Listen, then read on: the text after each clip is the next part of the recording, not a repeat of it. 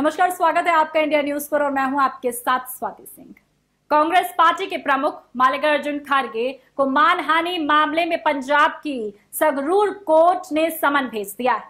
जी हाँ, इस वक्त एक और तो कांग्रेस जश्न मना रही है, जीत का। लेकिन दूसरी ओर मुसीबतें भी बढ़ती जा रही हैं। इस तरीके से राहुल गांधी अभी हाल ही में शायद उस सदमे से ना निकल के बाहर आ पाए हो, जब उनके ऊपर भी कार्रवाई की गई थी। ऐसे में अब मल्लिकार्जुन खड़गे के ऊपर भी जिस तरीके की सवालात खड़े हो गए हैं और उन्हें समन भेज दिया गया है। कर्नाटक चुनाव के दौरान आपको याद होगा, उन्होंने आपत्तिजनक टिप्पणी करने का जिस तरीके से बोलते हुए नज़र आए थे, आपत्तिजनक टिप्पणी करने का खड़गे पर आरोप भी लगा, लग चुका है। संघ से संविधि विश्व हिंदू परिषद की युवा शाखा बजरंग दल को प्रतिबंधित इस्लामिक संगठन popular front of India PFI की तुलना करने के मामले में तलब किया गया है।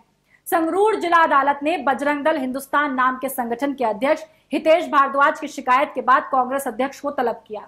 याचिकाकर्ता ने कहा कि हाल ही में संपन्न कर्नाटक विधानसभा चुनाव के दौरान कांग्रेस ने अपने घोषणा पत्र में बजरंग दल की तुलना आला कयाद जैसे राष्ट्रीय विरोधी संगठनों से की कोर्ट ने खरगे के खिलाफ दायर 100 करोड़ रुपए की मानहानि के मामले में समन भेज दिया। वहीं मामले पर सीनियर डिवीज़न जज रमनदीप कौर ने खड़गे को 10 जुलाई को सगरूर अदालत में तलब किया गया है और हितेश भारद्वाज ने जानकारी इसकी पूरी दे डाली। दरअसल, कांग्रेस ने अपने घोषणा पत्र में बजरंग दल का नाम लेते हुए उन संगठनों पर बैन लगाने का वादा किया जो अल्पसंख्यक समुदाय के प्रति दुश्मनी या नफरत बढ़ाते हैं।